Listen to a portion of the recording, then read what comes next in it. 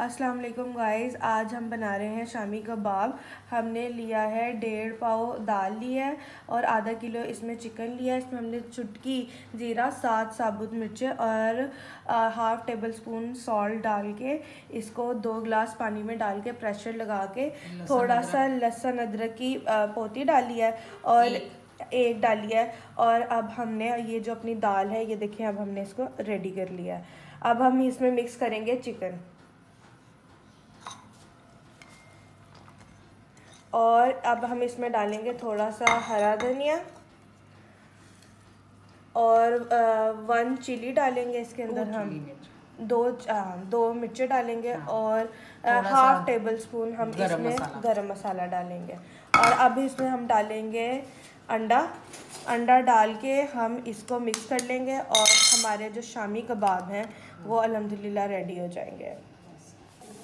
Final look of shami kebab.